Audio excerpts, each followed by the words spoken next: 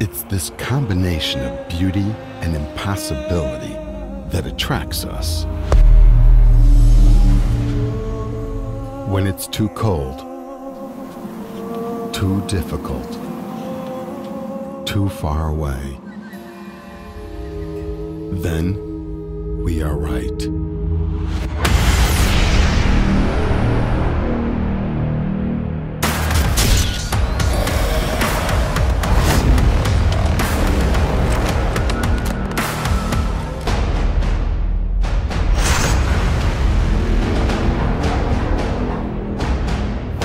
journey to the highest peaks of eastern Siberia. Hook with us.